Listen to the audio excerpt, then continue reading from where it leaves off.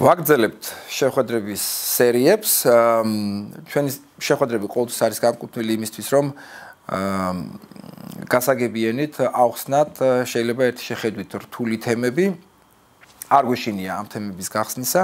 ამიტომ დღეს შერჩეული გვაქვს საინტერესო თემა ესეთი. ბევრი სიტყვისგან შედგება, მაგრამ შევეცდებით რომ აი ეს ბევრი სიტყვა ისე დავშალოთ და ისე გასაგები გავხადოთ, რომ პრობლემა რაც ჩვენ ყოველდღიურ პოლიტიკურ ცხოვრებაში გვაქვს, აი ეს პრობლემა დავინახოთ სხვა გადმოსახედიდან. დღევანდელი თემა არის ნეობოლშევიკური ნეოკომუნისტური ნომენკლატურა. და რა როლი ქონდა და აქვს ამ ნომენკლატურას და ამ ნომენკლატურაში იგულისხმება არამხოლოდ ბიუროკრატია, არამედ ის უამრავი საზოგადოებრივი წრეები, რომლებიც მასთან ასოცირდება. ერთი სიტყვით, ჩვენ გვაინტერესებს აი ამ ნეობოლშევიკურ წითელ ნომენკლატურას რა გავლენა ქონდა საქართველოს პოლიტიკურ და საზოგადოებრივ ცხოვრებაში ბოლო 30 წელი. და დავინახოთ რა მომავალი გვაქვს აი ამ პრობლემასთან დაკავშირებით ჩვენ შეგვიძლია თუ არა ეს პრობლემა გადავლახოთ ეს დანატოვარი ერთგვარი ტრადიცია აზროვნების მავნე საზოგადოების ფართო წრეებში შეგვიძლია თუ არა აი ეს ტრადიცია მავნე გადავლახოთ და რამდენად წარმატებულები ვიქნებით ჩვენ აი ამ გადალახვის მცდელობაში. დღევანდელი ჩვენი სტუმარი არის კონსტანტინე ვეკუა, ალტეს უნივერსიტეტის პროფესორი და ვფიქრობ, რომ ის არის საუკეთესო მოსაუბრე სწორედ ამ თემაზე. და პირდაპირ პირდაპირ პირდაპირ გადმოვალ შენთან კოკა.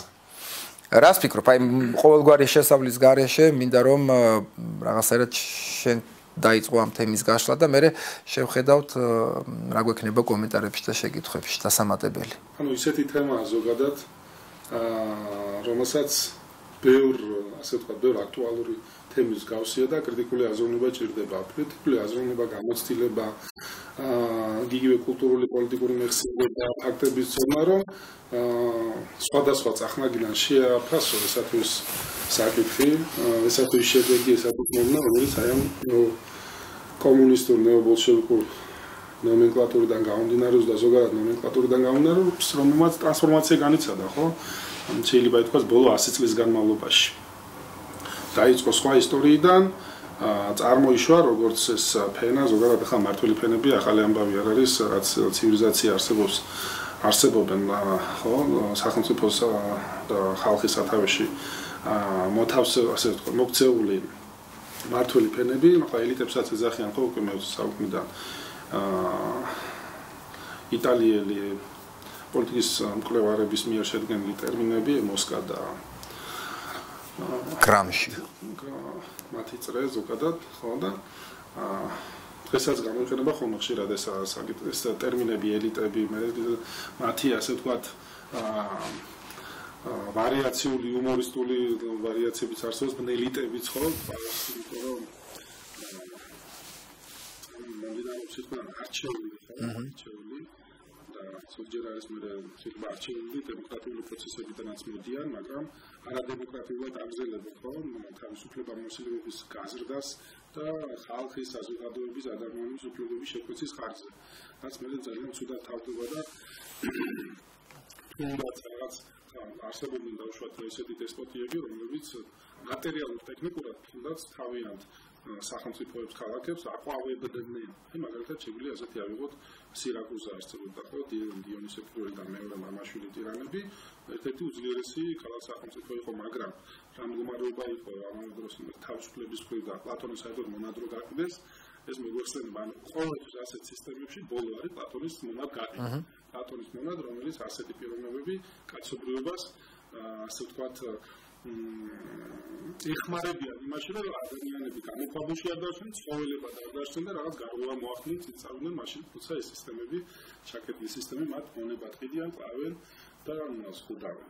რაც შეეხება მოვიდეთ ხო, ნომენკლატურასთან დაკავშირებით, ჩვენ ახლა საბჭოთა კავშირის და მათთან მემკვიდრე აა ასე არ მინდა მაინც და მაინც თქვა სიტყვა მართველი, რომ მართლა ზოგადად ძალიან სულ სხვა კონცეფციას მოითხოვს. ასე გაინიშნა და თავის პოლიტიკურ მეცნიერებაში ელემენტარული რამაბანა ესმის იცის რომ ეს მართვა არის საჯარო მართვაშიც ეს არის ძალიან დემოკრატიული პროცესი ეს არის კონსტიტუციური პროცესი რა თქმა უნდა შეიძლება კონფლიქტებსაც და კონკურენციას და სხვა და სხვადასხვაობასაც ასე ვთქვათ შეიცავდეს მაგრამ არის ყოველთვის ამაზე ამაღლების დემოკრატიულად მართვას ნუ კათედრალად შეგვიძლია ნახოთ ხო რომელიც მართლობის ფორმის ფორმა რეგიმინის და ფორმა იმპერიის განასხვავებდა, სადაც ეს მართვა იყო პირდაპირ შეთანხმებით, კონსენსუსით, ასე იგი მიღებული პროცესი და ამის შესაძლებლად მოსული ხალხი ლეგიტიმურობად უნდა მაგალი და ახორციელებდნენ ერის და საზოგადოების ინტერესებს.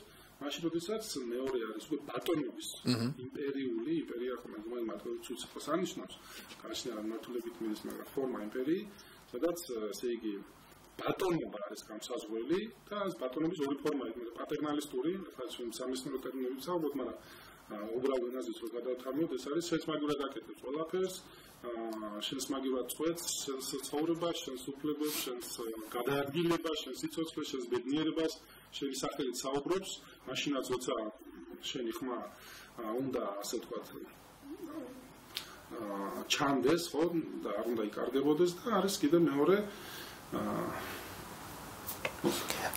გასაგებია რომ ეხა ბუნებრივია როცა ბოლშევიკურ ელიტებზე ვსაუბრობთ ან ნეობოლშევიკურ ელიტებზე თუ ნომენკლატურაზე მაინც არჩევითობი არჩევითობის מחასიათებელი ან ის არ იყო არჩევითი არავინ არ აირჩია ეს ელიტები. გვესმის რომ ბოლშევიკურმა რევოლუციამ და კომუნიზმის დამყარებამ საქართველოში ძალიან დიდი სოციალური გარდაქმნა მოახდინა ანუ მთელი რასაც ქვია სოციალური ინჟინერია მოახდინა, ანუ მოხდა ხელოვნურად ახალი ელიტის გაჩენა და ეს ელიტა, რომელიც პარტიულად იმართებოდა, ეს ელიტა იყო როგორც ადმინისტრაციაში, ანუ მართვის სტრუქტურაში გაბატონებული, ასევე ის იყო ბუნებრივია ეკონომიკაში, ის იყო ასევე კულტურაშიც. და ეს აი ეს ასე ვთქვათ, სამთავიანი, მოდი ასე ვთქვათ, დევი მართავდა ამ სახელმწიფოს 70 წლის განმავლობაში. აი მე უკვე 89-დან 9 აპრილი მოხდა, მე მოხდა ზვიადის მოსვლა უზენაეს საბჭოს არჩევნა და ასე შემდეგ. ჩვენ გვაქვს უკვე პოსტ საბჭოთა პერიოდი, როცა დაინგრა საბჭოთა კავშირი. და ერთი შეხედვით, აი ეს, რასაც ჩვენ ახლა ვეძახით, ნეობოლშევიკური, ნეოკომუნისტური ნომენკლატურა, თითქოს ის გაქრა სცენიდან, თითქოს გაქრა სცენიდან, მაგრამ რეალურად ის არსად არ წასულა, იმიტომ რომ ის პრივილეგირებული პოზიციები, რაც აი ამ ფენის წარმომადგენლებს ჰქონდათ ეკონომიკაში, პოლიტიკურ ადმინისტრირებაში და საზოგადოებრივ საქმიანობაში, როგორც ეს ხელოვნების სფერო და ასე შემდეგ, ის ისინი პრინციპში დარჩნენ იქ, ხო? და გააგრძელეს შედარებით სხვა ფორმით ცხოვრება, მოქმედება და ასე შემდეგ. აი აქ არის ზუსტად ჩემი შეკითხვა და შენი აზრი მაინტერესებს. შეინარჩუნეს გავლენა ამ ფენებმა, ამ ჯგუფებმა განსაკუთრებით ზვიადის მოსulis შემდეგ და ზვიადის შემდეგაც საქართველოში და ერთი რომ აი რაში გამოიხატებოდა ეს გავლენა, ეს მათი წონა და რამდენად დადებითი ან უარყოფითი იყო სწორედ მათი გავლენა.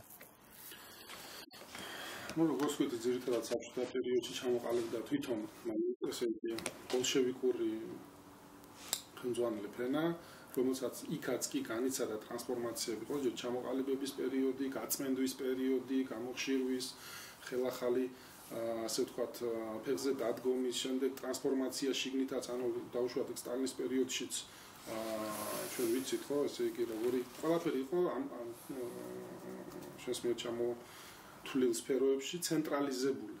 იმიტომ რომ ახლა არსებობს აა მისი ალტერნატიული ხო სახე ნომენკლატურის ალტერნატიული სახე დასავლური ისტებლიშმენტი სადაც ეკო ძალაუფლების დანაწილებაზეა იქ ზუსტად ეს მოქმედებს. იგივე ბიუროკრატია რო ავიღოთ ხო მოქმედებს ძალაუფლების დანაწილების პრინციპით და ბევრი ბარიერი აქვს გადასალახი იმისთვის რომ რაღაც დევიაციებსა და დარღვევებს კონდეთ ადგილი. მაშინ როდესაც აქ არის ეს ცენტრალური მართლობის სტილზე ასე ვთქვათ ეს ერთხეზე არის ასე ვთქვათ აა აწყობილი ეს სფეროები, ეს ბიუროკრატიაც და ერთი ერთი პიროვნების ან ერთი პარტიის ასე ვთქვათ დირექტ დირექტივებით მოქმედებს. აი ზუსტად ეს განსხვავებაა.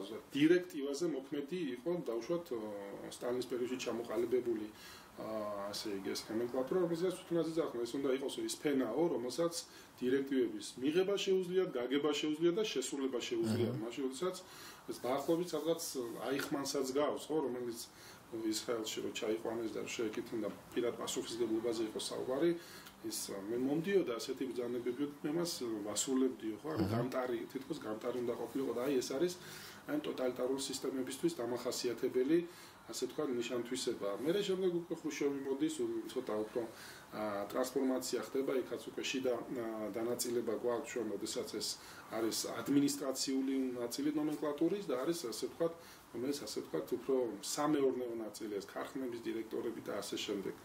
ხო? აი ეს ამათ შორისაც მიდიოდა რომელთა საფუძველზე მე ეგრეთ წოდებული წითელი დირექტორები. აქიდან აქიდან მოვა ზუსტად პრეზიდენტის დროს უკვე აი ეს ვინცაც ეს მატერიალურ მხარესთან ხონდა შეიძლება ხო აა უზარმაზარ რესურსებს განაგებდა ხო როგორც ეს პარტია ასევე მისი ნომენკლატურა მე რა უკვე კრიმინალთანაც ხდება დაკავშირება ეგრეთ წოდებული ესეთ დელეცებთან და ხო ეს ეგრეთ წოდებული მაშინდელო ბიზნესმენებთან და ის მატერიალური მხარის კონსოლიდაცია იწყებს ეს ნომენკლატურა და ხდება ეგრეთ წოდებული პრივილეგიცია ხო? აი პრივილეგიები პრივილეგიები განა მანამდე არ ქონდათ მაგრამ განსხვავებულია პრივილეგიების სახეობა სტალინის დროს და განსხვავებულია ბრეჟნევი გორბაჩოვის დროს. აი მან მაგალითისთვის მინდა მოვიყვანო ეხა თუ გახსოვს არ ვიცი ესეთი საგამოძიებო ჯგუფი იყო საბჭოთა კავშირის დროს, აი კორუფციის მართლა რაღაც სასწაული ზომები რო აღმოაჩინეს, ეს გდლიანი და ივანოვი.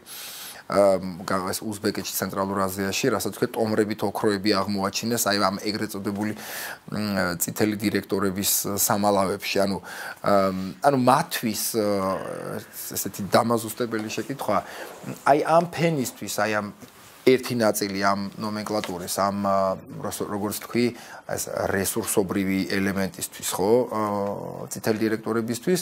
მათთვის უკვე ეკონომიკური სარგებელი, ფინანსური სარგებელი იყო მთავარი ვიდრე რაღაც თქვა იდეოლოგიური ერთგულება ხო როგორც ჩანს? ეს უფრო გვიან პერიოდში უკვე ბრეჟნევიდან იწყება ეს პერიოდი. აა როდესაც უკვე სისტემაც კრიზისში შედის იცით ამ ხელმძღვანელი წრეები გადარჩენას, მაგრამ ექსპერიმენტები ჩაატარეს და არ გამოვიდა და მე უკვე დასავლეთთან მოლაპარაკებაზე გავიდნენ შანტაჟის თუ ასე შემდეგ ფორმებში, მაგრამ იმისთვის რომ ძალაუფლება ისევ ქონოდა. მაგრამ აი რაც შეეხება აი ამ კორუფციულობის მომენტს და აი ამ მატერიალური სარგებლის მომენტს, უკვე 70-იან წლებში ისინიც კი ახლა სულში, როდესაც არსებობდა მავდოსგან ყოფილება კორუფციის აწინააღმდეგო, აა ასე იგი კორუფციის გამოსავლიდან მის ნამდვილ საბრძოლოდ ხალხი იქ მიდიოდა.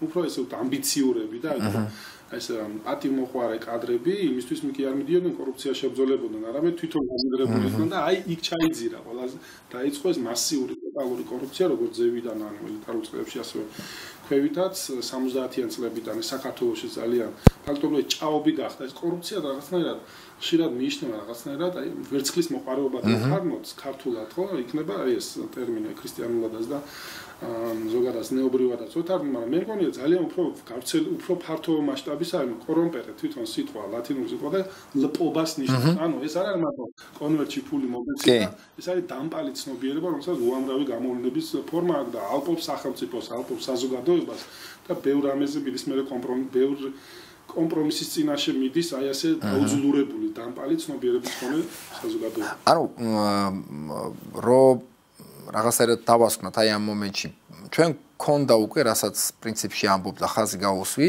რომ საბჭოთა კავშირის განსაკუთრებით ბრეჟნევის პერიოდიდან და უკვე შემდგომ 80-იანი წლები ეს არის გორბაჩოვის პერიოდი ჩვენ გვაქვს ერთგვარი შერწყმა სიმბიოზი კორუმპირებული ეკონომიკური ამ დირექტორების, ეკონომიკური ელიტების, ანუ წითელი დირექტორების და მეორეს მხრივ მათი მაკონტროლებელი უშიშროების თუ უსაფრთხოების ორგანოების, ანუ ერთგვარი თანამშრომლობაც კი არის, ხო, რეალურად ეკონომიკური სარგებლის და ფინანსური სარგებლის თვალსაზრისით იქიდან გამომდინარე, რომ იდეოლოგიურად სახელმწიფო უკვე ძირგამონპალი იყო და ანუ სხვა სარგებელი ამ შემთხვევაში გარდა ეკონომიკურისა არც ერთმა მხარემ და არც მეორე მხარემ რეალურად ვერ დაინახა და ამიტომ დაიწყეს აქტიური თანამშრომლობა. რეალურად. აი შემდეგ ანუ ამათ გარდა რო შევხედოთ უკვე პარტიულ ბიუროკრატიას, აი ადმინისტრაციას, მათ შორის ყველაზე მაღალ დონეს დავიწყოთ პარტიიდან, როგორც ასეთი და მე უკვე პარტიული სტრუქტურა, როგორც ადმინისტრაცია ქვეყნის და საზოგადოებრივი აქტივისტები დავარქვათ ესე, ხა საზოგადოებრივი აქტივისტები, მაშინ ჩემი გადმოსახედიდან ეს არის რეალურად საზოგადოების და კულტურის მოღვაწეები, ხო, იმიტომ რომ მათი შეხედულება, მათი აზრი, მათი პოზიცია საკმაოდ მნიშვნელოვანი იყო საზოგადოებისთვის და ანუ დღევანდელი ტერმინი რო ვიხმაროთ, ინფლუენსერები იყვნენ რეალურად. აი ეხლა აი ამ ორ კომპონენტს რო შევხედოთ, ანუ აი მათი როლი რა იყო და როგორ მოხდა მათი ტრანსფორმაცია უკვე საბჭოთა კავშირის დანგრევის შემდეგ. ну ეს რა თქმა უნდა კულტურული მხარე რო ავიღოთ ასე იგი ეს რა რისაფუძველზე გაჩნდა ხო ახლა ჩვენ საქართველოს მაგალითზე რო რო ვთქვათ აა მე ძალიან მაინც გავუსვამდი ხას იმას რომ აი ილია ჭავჭავაძის აი ცოტა პერიოდს გავწდები უკან რატო? რომ უფრო კარგად დავინახოთ აი რა დანაკლისთან საქმე. იმისათვის რომ ამ ქვეყანა ეს ქვეყანა რამენერად ამოვიდეს იმ ჭაობიდან რომელშიც იმყოფება ბევრი ხანია ხო რომ აი ფაქტობრივად ანექსიის შემდეგ მოდის ილია ჭავჭავაძე 10 წელიწადს აკვირდება ბევრი ხანი აქ აქაურობას და სიტუაცია დაბრუნებული. მე და იქნება მისი თერდალეულების ჯგუფი და ისინი ახლა ვიღაცას ჩვენი ცხოვრება კი დაჩქარებულია დღევანდელ დღეს და ჩვენი ცხოვრება შეზღუდულია 125 წელს არ ამნა ცხოვრობ მაგრამ და გვეჩქარება რომ რაღაცები უფრო ჩქარა მოხდეს მაგრამ ისტორიისთვის ეს არის ვაჟი წვეთი და თუ ჩვენ მინდა კაც ცხოვრება იქაც დაუშვათ მათ 60 წელი დაჭირდა იმისთვის, რომ აი ელიტები გამოეზარდათ და ცუდა თუ კარგად პირველი რესპუბლიკა იყო პასუხი, რომ მათ ეს გამოწვევა აჰა ყოველ შემთხვევაში ღირსეულად მიიღეს.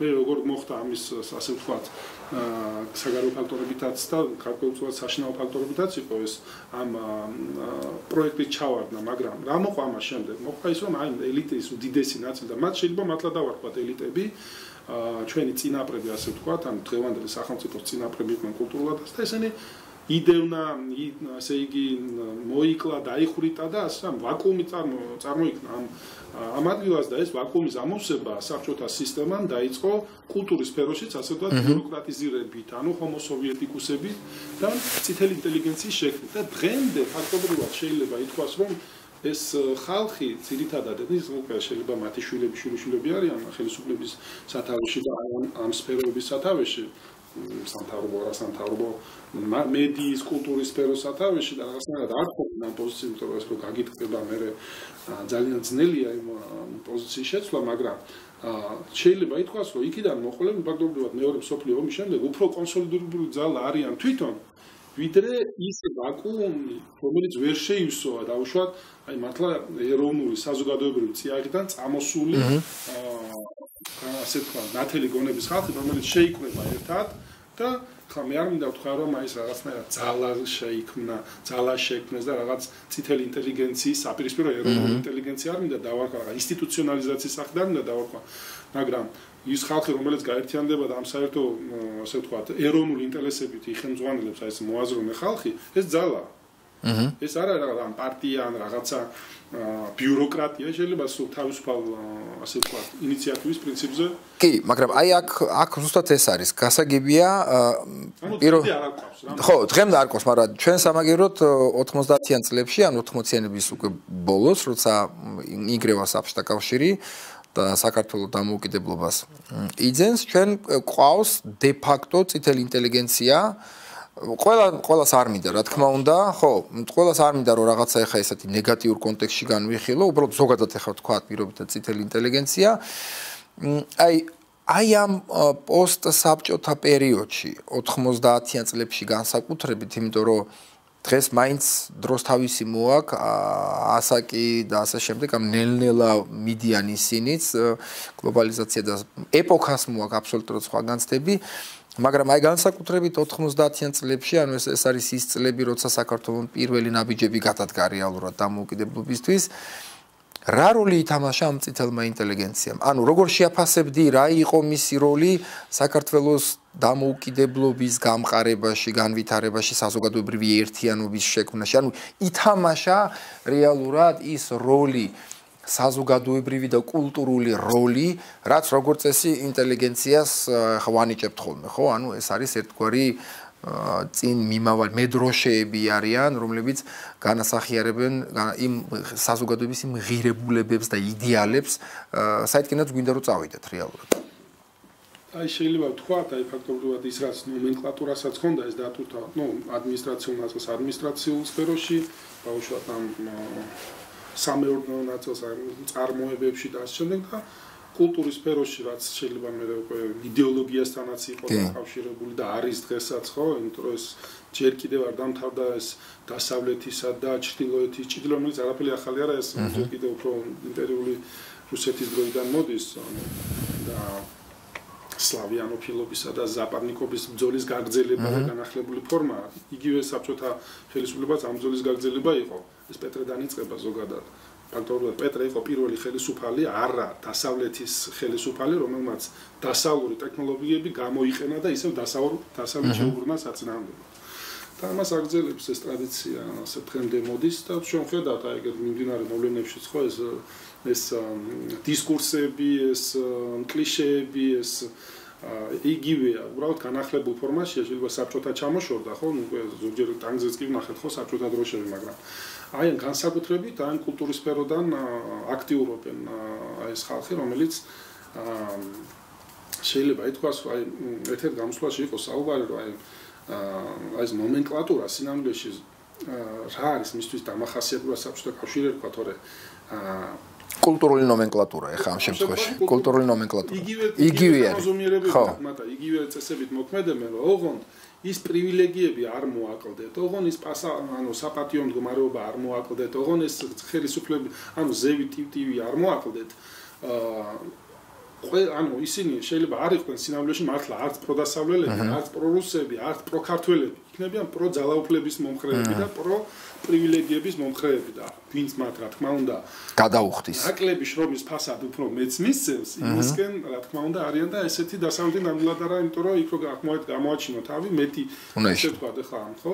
უფრო მეტი უნდა გაისარჯო და ამას თავის ნიჭი უნდა, უნარები უნდა, ცოდნა უნდა და რაც დასავლეთის ქვეყნებმა გააკეთეს ხო ისტორიის მოახლესი და თანამედროვე ისტორიის განმავლობაში და აი აქ ზუსტად ეს მომენტია რომ იმისათვის რომ ოღონ იყო ხელისუფლებაში დაუშვათ საბჭოთა პერიოდშიც ხომ შეხება ქონდა და ზუსტად ინფორმაციასთან, პეშტურ სიტყვასთან, აი ეს კულტურაც ხო ამის განსახიერება იყო.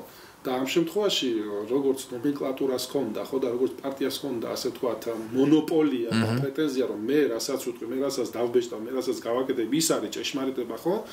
დღესაც ფაქტობრივად აი აი ამ ასე ვთქვათ ხაზზე გადიან და ცდილობენ, რომ აი თუ ძალაუფლებისთვის საჭიროა, რომ დღეს თქვან დაუშვათ აქეთან ხარი აქედან უბერავს, ხვალ თუ შეიცვალა კონიუნქტურა, იტყვიან ანუ სხვა მართულებად დაიწყებენ საუბარს. რომ დამახასიათებელი რაღაცა ის რომ გამოვყოთ ნიშანთვისება რაც მათთვის ტიპიური არის და პრინციპში ნიშნავს რომ ისინი არ შეცვლილან მიუხედავად იმისა რომ საბჭოთა კავშირი დაიშალა ეს არის ერთგვარი მორჩილება დამკვეთის მიმართ ანუ ვისაც აქ რეალურად ხელისუფლება და ძალაუფლება ხელში და ვინც გარანტიას აძლევს რომ მოდი თქვენი პოზიცია სარგებელი, რასაც თქვენ იღებთ ის არ შეიცვლება, ოღონდ ერთადერთი რამ მოეთხოვება მათ, ეს არის ის რომ ის დაკვეთა შეასრულონ ის მესიჯი თქვა თუ ის ისეთი გაავრცელონ ინფორმაცია და ის ისეთი პოზიცია დაიჭირონ რაც პრინციპში ძალოფლების მქონე ასე ვთქვათ ხელისუფლებას მიაჩნია რომ სწორია. და რეალურად ემსახურება აი ამ ძალოფლების ვერტიკალს. ანუ ხელისუფლებას რეალურად. მაშინ იყო ეს კომუნისტური იდეოლოგია და პარტია და ციტელი ინტელიგენცია ამ ხას ატარებდა რეალურად. სანაცვლოდ იღებდა სარგებელს მათ შორის ფინანსურს ეკონომიკურ საზოგადოებრივს და ასე შემდეგ. კი კი კი კი. მათ შორის საზღვარგარეთ სიარული და დასვენებები და ასე შემდეგ.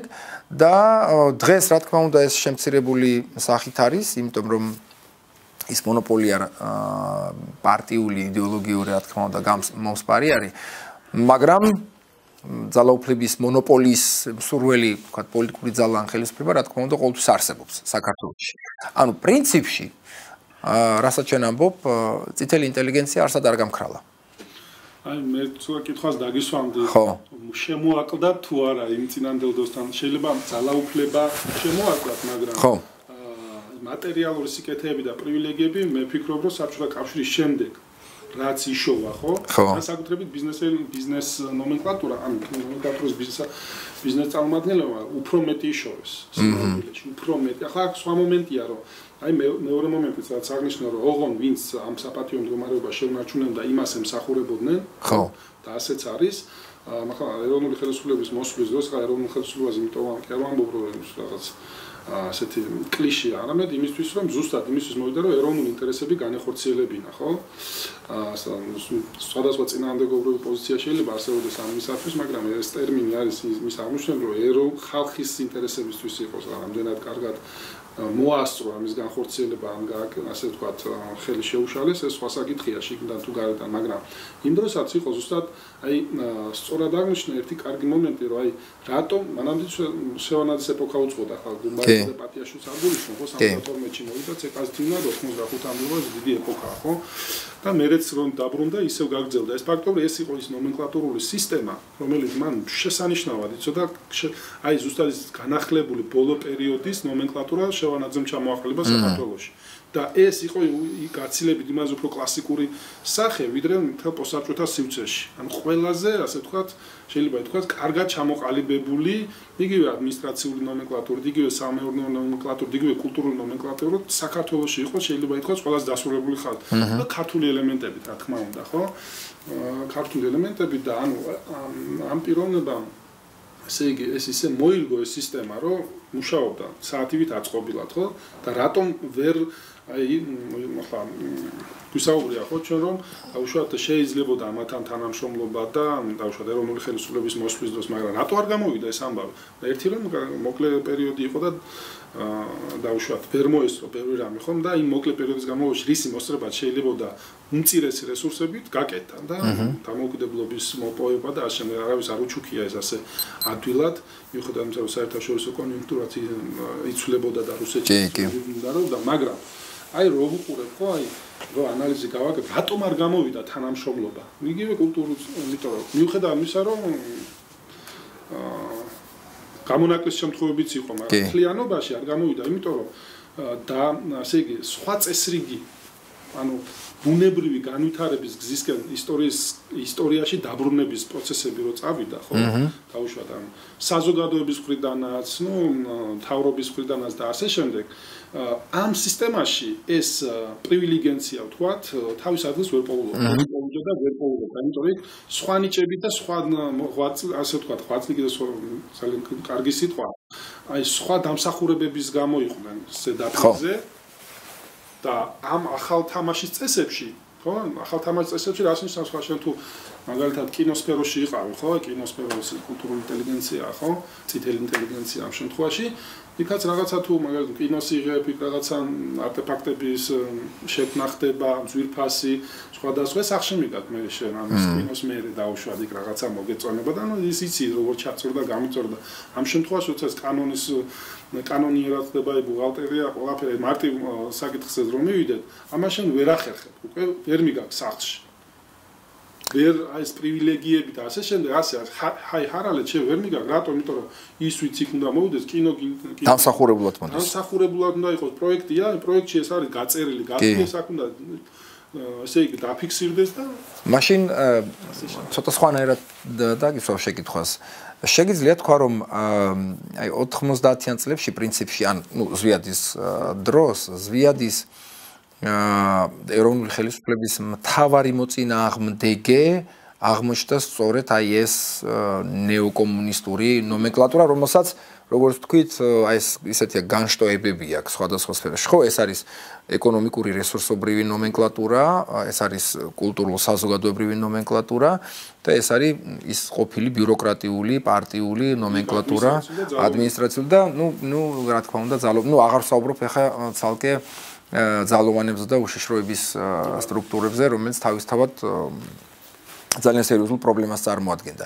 ანუ შეგიძლია თქვა რომ აი ამათ შორის რაღაცნაირად ბუნებრივი კავშირი შეი შეიქმნა იმისთვის რომ ზვიადი და ეროვნული ხელისუფლება დამარცხებულიყო თუ ზვიადსაც ჰქონდა ბევრი შეცდომა, ბუნებრივი შეცდომა, ან ლოგიკური შეცდომა, რამაც აი ეს აი ეს ეს 4 ელემენტი, ეს 4 დაჯგუფება რაღაცნაირად უბიძგა გაერთიანებისკენ. ის კი არა რომ ამათ თავიდან ქონდა ჩაფიქრებული ზვიადის წინააღმდეგ მოქმედება, არამედ ზვიადმა თავისი მოქმედებებით რაღაცნაირად ისინი შეავიწროვა და ამათმა უკვე საბოლოო ჯამში პრინციპში გადაწყვეტეს რომ მოდი ახლა ვითანამშრომლოთ და გავაჩეროთ ეს ადამიანი. ანუ ის რაც მათ მანამდე ქონდა და ისე როგორც მანამდე ქონდა, სამბავი თავდებოდა. ხო.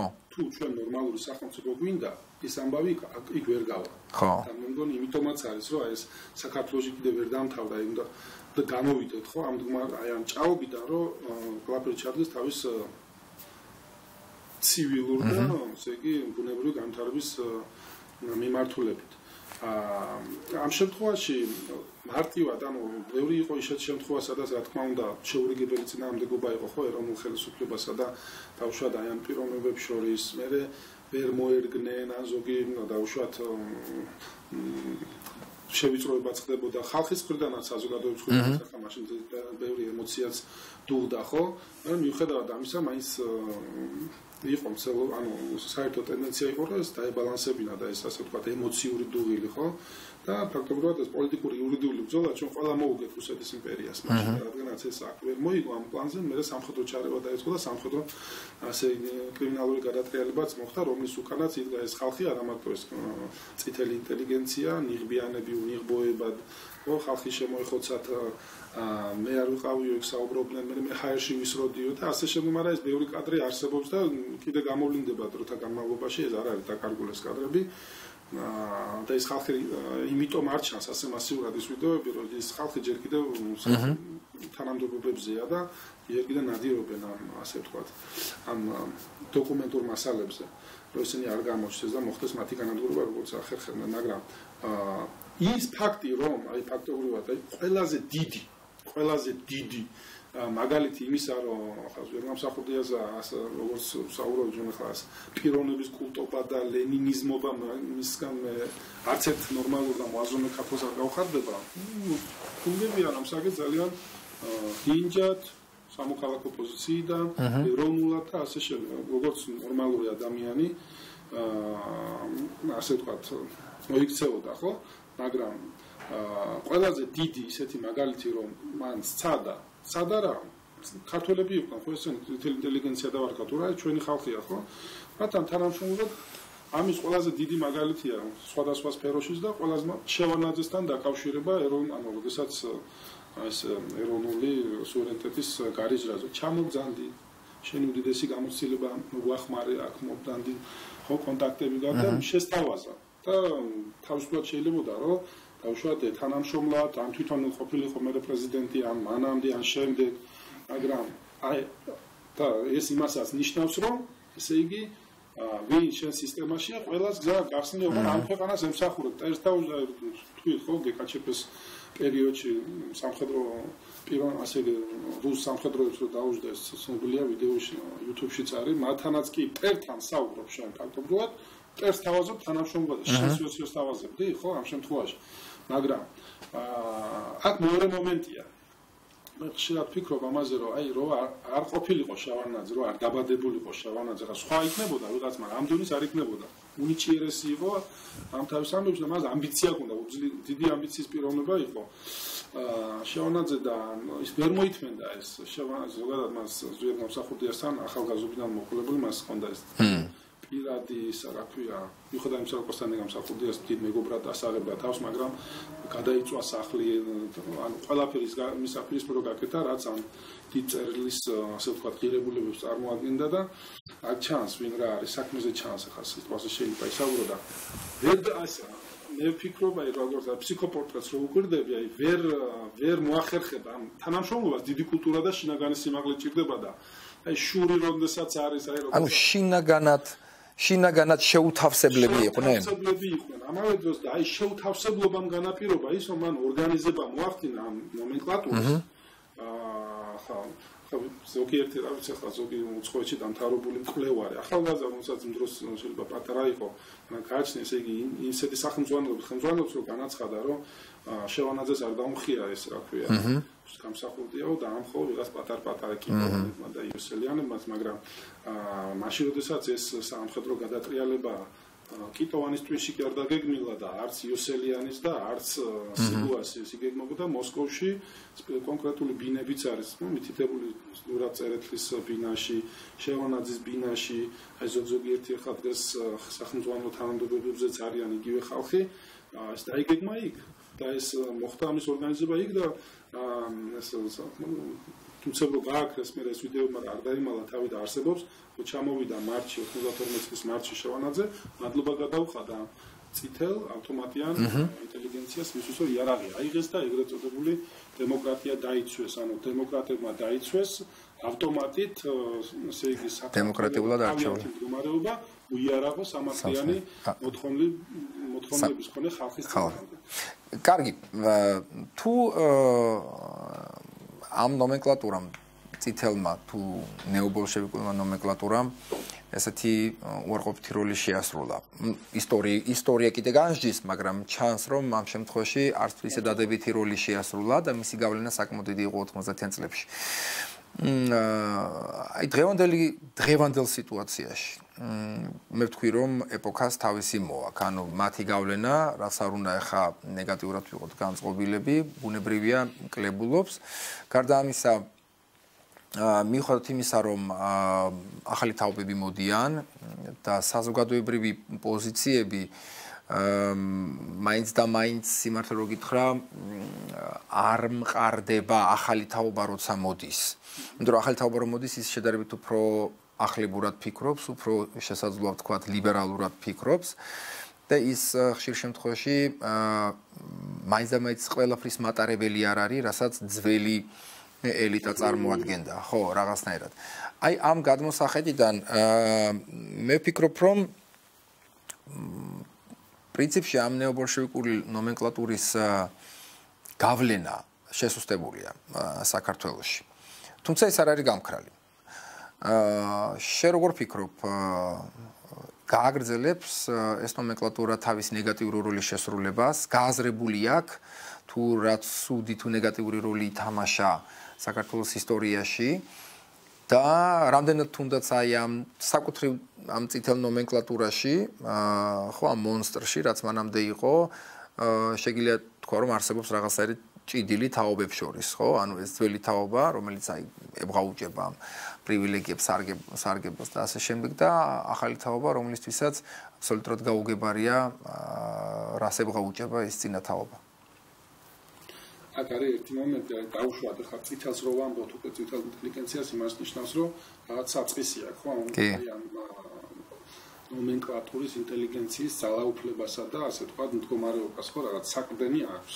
საქართველოსი არ არის ეს საკვდენი, ზირიკადა ამაზე სხვა საუბრის თემაა, მაგრამ დოკუმენტირებულად შეგვიძლია აა ასე იგი ანალიზი, მაგრამ ეს არაფერი ახალი არ ხდება, ხო, ამ ხრივ რომ რომშიც არსებობდნენ, ხო, ესე იგი ეს აა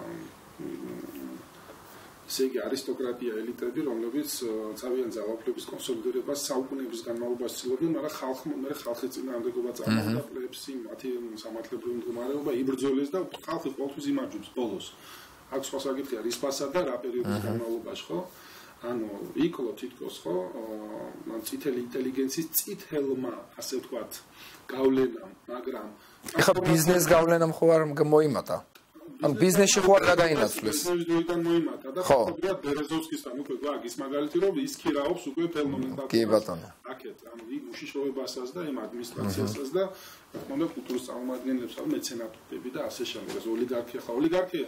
მაინც ნეგატიურად არ უნდა ნეგატიური კონტექსტი არა ჰოლანდიაში, მაგრამ ის ჰოლანდია შექმნას ოლიგარქებმა. ისინი არ იყვნენ ოლიგარქები, რომლებიც მხოლოდ ძალაუფლების კონსერვაცია და შენარჩუნებისკენ იუტოვდნენ. ისინი იყვნენ განათლებული ოლიგარქები იყვნენ, მაშინ სიმდიდრის მქონე ოლიგარქები, ასე ვთქვათ და იყვნენ ასე პროგრესისკენ ორიენტირებული განვითარებისკენ უზარმაზარ ინფორმაციას ფლობდნენ, უზარმაზარი გამოცდილება და მათ აი ამან ანუ ფაგონდა ელიტა იყო ხო? ანუ ოლიგარქიას დავა ელიტა იყო რომელმაც დაამარცხა მაშინელი მსოფლიოს უძლიერესი იმპერია ესპანეთი. რომელიც იყო ძველი ყაიდის იმპერია. და ამ ახალი ყაიდის და ასე თქვა ახალი ტენდენციების მქონე პატარა ერმა რომელიც დღემდე მსოფლიოს ერთ-ერთი ასე ციცკნაერი არის დღემდე ერთ-ერთი უდიდესი ეკონომიკაა ხო? ანუ და ზოგჯერ ამ ინტელიგენციის თემა რატომ არის მნიშვნელოვანი რომ აი ეს ინტელიგენცია შეიძლება ყოფილიყო იმ პროცესების ავანგარდში აი რატომ აი ეგ ეგ მაგ ზუსტად შეკითხვა. რატომ ვერ ანუ ის მოდის კომუნისტური იდეოლოგიური წიაღიდან. ანუ ხო. და სხვა სამსახურება და როცა ეს სხვა დაკვეთა ქონდა სხვა დაკვეთა და სხვა მდგომარეობაში რომ არის ის უკვე კონსოლიდირებული მას ასე ვთქვა უჭირს ახალ რეალობაზე გადაწყობა ახალ ახალი პარადიგმა პარადიგმაში გადასვლა და ახალი პარადიგმის უჭირს ის ვინც არ არის ამერიკიდან წარმოშობილი ვინც არის ის რა თქმა უნდა. აი და აი თუნდაც აქ და რო დავასრულოთ ხომ არ ფიქრობ რომ აი ზუსტად კაი მაგალითი მოიყვანე აი თქვი რაღაცნაირად ბიზნეს ელიტა ხო? იმიტომ რომ ბიზნეს ელიტა ან ოლიგარქი რომელიც შეიძლება ოლიგარქიული ფორმით გამოიხატებოდეს ის შეიძლება ავანგარდი გახდეს საზოგადოების ხო? თუმცა ჩვენ გვაქვს სამწუხარო სურათი როცა ბიზნესი და ბიზნეს ელიტა ხშირად ის არ იმართება რაღაც ეროვნული იდეალებით და ღირებულებებით ხო? აი თუნდაც აი ბოლო მოვლენები რო ავიღოთ ჩვენ ბიზნესს მაინც და მაინც არ აინტერესებს დასავლეთთან ურთიერთობა მჭიდრო. ანუ ყველაზე რა თქმა უნდა საუბრობ, ხო? ანუ მაგრამ გამონაკლისები გვაქვს რა თქმა უნდა და მაგრამ ანუ ძალიან ფართოდ გავრცელებული მოვლენა ჩვენთან რომ იმის მაგივრად რომ ცოტა მეტი ძალის ხმევა, მეტი იმუშაოს ბიზნესმა იმისთვის რომ გაცილებით ფართო დასავლეთის ბაზარი აითვისოს და რაც გარანტირებულად გაცილებით სტაბილურია და გაცილებით მომგებიანია ვიდრე თუნდაც რუსეთის ბაზარი, ჩვენ ბიზნეს ურჩევნია რომ მათ შორის სახელმწიფოებრივი ინტერესები გვერდზე გადადოს, მხოლოდ იმისთვის რომ რაც შეიძლება სწრაფად და მალე ნახოს ის მოგება რაც მას რასაც მას თითქოს აი ესეთი დიდი რუსული ბაზარი პირდება, ოღონდ სინამდვილეში რა თქმა უნდა ეს პირდაპირ ურტყავს საქართველოს ინტერესებს და გრძელვადიანი თვალსაზრისით არაფრის და მომტანია გარდაზიანისა საქართველოს მოსახლეობის. აი რატომ ვერ გახდა ბიზნეს ელიტა, ბიზნესტრები რეალურად ის რაც მაგალითად ჰოლანდიაში მოხდა და რატომ აგრძელებს ბიზნესი არც თუ ისე სამაგალითო საქციელს? ამის მარტივი პასუხი არის ის, რომ ის ჰოლანდიელი ოლიგარქები ვიდრები ანუ ხო. ელიტა რომ ასე ვთქვათ აა მათ რა თქმა უნდა ხა მხოლოდ ხალხის ინტერესი კი არ აინტერესებდა თავიანთი სიმდიდრის გამდიდრება და დამოუკიდებლად ხო? აა და ამის გზების არ ნახეს ესპანეთში ნახეს თავის ხალხში და ესპანეთის გარეთ ხო? და ამიტომ მოახერხეს ამიტომ მოხერხდა იმ რეალობის შექმნა რა რომელიც შეიქმნა ჰოლანდიის სახით ამ შემთხვევაში. მაგრამ ამის პასუხი ის არის რომ ისინი დარჩენილიყვნენ და რომ ემსახურა ესპანეთისთვის მიიღებდნენ შეიძლება იმ პერიოდში უფრო მეტ შემოსავალს. მაგრამ დღევანდელი ჰოლანდია აღარ იქნებოდა. დღევანდელი ჰოლანდია არ იქნებოდა და შეიძლება ევროპა სხვანაირი ყოფილიყო ხო? ანუ იგივე მომენტი აქაც. განათლება. ესე განათლების მომენტიც არის, აი, ავიღოთ ანაკლის პროექტიც, ხო? ეს არის, ანუ ფაქტობრივად ის, აი, მაგალითი შეიძლება იყოს კლასიკური მაგალითი იმისა, რომ აქ ფული შოვნა რომ დომებოდათ ჩვენს ოლიგარქებს. შესანიშნავი პროექტია იმისთვის, რომ გაორმაგონ, გაასწავლონ, გაახუთმაგონ თავიანთი შემოსავლები ანაკლის პროექტის, ესე იგი, განხორციელებით, მაგრამ ფულიც არჩევს აქ. შეიძლება არ შური ჭირს. არის ის, რომ ჩვენ შეიძლება მეზობელს არ ჭირდება განვითარებული ქვეყანა, არ ჭირდება განვითარებული საქართველოს, იმიტომ რომ ანაკლი ანიშნავს მარტო ანაკლი, ანაკლი ანიშნავს ასევე მარტო განვითარებულ საქართველოს, ანაკლი ანიშნავს აქ თელი სოფლიოს შემოსვლას. ანაკლი იმასაც ნიშნავს, რომ მეორე რუსეთის დეზინტეგრაციის პროცესები დაჩქარდება, იმიტომ რომ ვინც უკეთეს ცხოვრებას ნახავს ჩვენი მეზობლები აქეთკენ წამოვა დაშლილი ჩრდილოეთ კავკასია, ან ჩამოშორებული ჩრდილოეთ კავკასია უკვე დომინოს ეფექტით გავრცელდება მეორე თელს რუსეთზე. მიუხედავად იმისა რომ მას შეუძლია რომ იყოს სოფლის ერთ-ერთი წამყვანი კონსტრუქციული განვითარებული ქვეყანა მაგრამ მას ზუსტად ნომენკლატურის და მართველების შეცვლა და მენტალიტეტის შეცვლა ჭირდება ხო რაც ერთი ერთდღიანი პროცესია არ არის კი. ხო და ამ შემთხვევაში არ განხორციელდა იმიტომ რომ და არ ხორციელდება ამ ნომენკლატურის და ამ ბიზნეს ბიზნესმენების მხრიდან წინსვლა, იმიტომ რომ არ არ წარმოადგენენ და არ არ არიან წამოსულები დაუშვათ მხოლოდ ადგილობრივი ინტერესებიდან. მოსულები არიან და ემსახურებიან იმ კაპიტალს, რომელიც ჩრდილოეთის სახით აღწევს. ეხლა ჩვენ ჩვენთან აქ რუსული კაპიტალი შემოდის და შემოდის დასავლური ფული. მაგრამ უნდა განვასხვაოთ, რა ფულია ის რაც დასავლეთიდან შემოდის, დიდწილად ეხლა საქმოსნებით შემოდიან, რა თქმა უნდა და არიან და მოქმედებენ ამ პროზაციის განმავლობაში, მაგრამ დასავლეთიდან შემოდის ხალხის გადასახადებით შემოსული ფული. იქ არ შემოდის ვიღაც ბიზნესმენის ფული. ოლიგარქის ფული. ხო, ოლიგარქის. აქ შემოდის ძირითადად აქ რუსეთის გადასახადების ფულით შემოსული ფული არა, არის ოლიგარქების ბიზნეს ინტერესების და არც ერთი დიდწილად არც ერთი არ დევს ამ ფულს განათლებაში, არ დევს სოფლის მეურნეობის, მაშინ რა ქვია, განვითარებაში. თუ ის თავისი არ არის, ხო? არდებს ინფრასტრუქტურას დებენ, ხელასი იყიდე, საკონტროლო ობიექტები იყიდე, სტრატეგიული სხვათაშორის დღეს არ დაწყებულა. წინა რეჟიმის დროსაც დაიწყო ეს და ფორსირებულა. ეს უბრალოდ ხდება, რაც დარჩა იმის გაფორმება. და აი ის ეს რომ მოხდეს, ანუ შეიძლება ოლიგარქი ამ დიდარი პიროვნება შეიძლება ამას აკეთებდეს იმისთვის რომ გაზარდოს თავისი შემოსავალი, მაგრამ არასა ეროვნული ინტერესების საწინააღმდეგო და საქართველოს არის ესეთი ქვეყანა, სადაც შენ შეგიძლია გახდეთ თუ აქ ნორმალური სიტუაცია, ასე ვთქვა და დაალაგდება ხო და ალბათ შეიძლება კრემში კიდე ბევრი რამე ამ ამ დეკადაში უკვე მაშინ ნახავთ რომ თურმე დიდებსაც შეუძლიათ ახაური ქვეყნის განვითარებას, თავისი ქონების განვითარებას, არაფერს არ ხედავ პრობლემას იმაში რომ თავისი ქონება გაათმაგო. თუ ეს ჩემ ხარჯზე არ ხდება, ჩვენ ხარჯზე ხდება და სახელმწიფო ინტერესების ხარჯზე არ ხდება. მე მგონი აქ თან კიდე ზოგადად ბიზნესის ბიზნესის ბუნებაზეც ბევრი რამე არის დამოკიდებული. აა თვითონ რა წესები არის დამკვიდრებული ქვეყანაში და რამ რა ეთოსი არის და რა კულტურაა ზოგადად ბიზნესის წარმოება და რამდენად ბიზნესი ზოგადად დამოუკიდებელი არის ხელისუფლებისგან.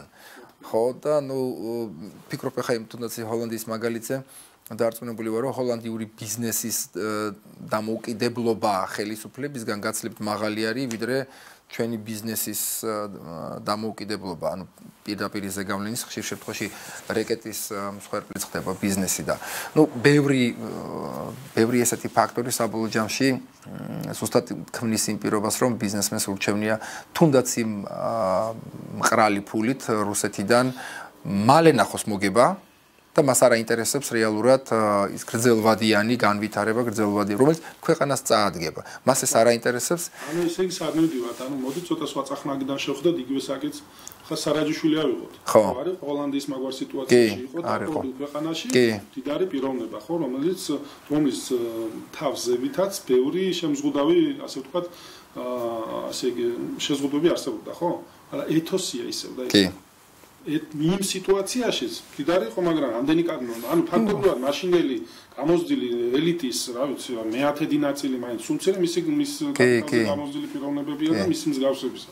ანუ ეთოსია. მიუხედავად შენ თუ ეთოსი გაქვს შეზღუდულ პირობებშიც კი მაინც ცდილობ რომ გაატარო ხო ну მარტო ხასუ დაასახო დაუშვათ ათასობით ადამიანს სტაბილურად და შენ მათ ოჯახებს დაუშვათ ხელფას უხდი ხო მარტო ეს ეს უკვე მიუხედავად ბევრი სიტუაცია და რაღაცას უნდა დაგიხილოს ხო თვალი ამას თუმცა ну როგორ ჩანს როგორ ჩანს ეს ეთოსის პრობლემა ანუ ზოგადი იდეალების პრობლემა მე თუ მკითხავ არა მხოლოდ ბიზნესში არის არამედ იმ ყველა სფეროში რაც ჩამოთვალეთ ჩვენ დაწყებული წითელი ადმინისტრაციიდან, რომელიც კიდევ თქვა შეიძლება შემორჩენილი იყოს, ინტელიგენცია იქნება თუ ბიზნეს წრები. რაღაცაირად შევეცადეთ, რომ გაგვეშიფრა, გაგვეშიფრა, ხო, გაგვეშიფრა ეს რას ნიშნავს ნეობოლშევიკური ნეობოლშევიკური ნომენკლატურა და ზოგადად რა რა როლს თამაშობს. შეიძლება რა საფრთხე საფრთხეს წარმოადგენს და რა ვიცი მე მე ვფიქრობ რომ მაინც ყველაფერს ყველა დროს მოაქვს ყველაფერი ეპოქას მოაქვს ძალიან მნიშვნელოვანი ცვლილება და უფრო მე მგონი თანდათანობით მოხდება აი ამ შენ თქვის არ იყოს აი ეთოსის ამ იდეალების შემოცვლა, რაც საბოლოო ჯამში სწორედაც რომ შეცვლის ყველაფერს და ჩვენ უკვე რეალურად მომავალში აღარ მოგვიწევს იმაზე საუბარი თუ რა ნომენკლატურის რა ბომბები არის ჩადებული ჩვენ საზოგადოებაში დაწყებული პოლიტიკური სივრციდან და დამთავრებული საზოგადოებრივი კულტურული თუ ეკონომიკური წრეებით. იმედი მაქვს რომ ამაზე აღარ მოგვიწევს ახლო მომავალში საუბარი. როგორც კი ეს საერთაშორისო ჩვენი მახლობელი სამეზობლოს კონიუნქტურა მოიშლება, ისიც კი ვინც დღეს ამოხრუჭებს ქვეყანას სხვადასხვა სფეროში, ისიც განიცდის გარკვეულ ტრანსფორმაციას და უფრო დაჩქარდება. აჰა. თაობათა ცვლასთან გამომდინარე. აი ასეთ ასეთ დადებით ნოტაზე დავასრულებ დღევანდელ შეხვედრას თქვენთან ძალიან დიდი მადლობა. მადლობა. მადლობა კონსტანტინე.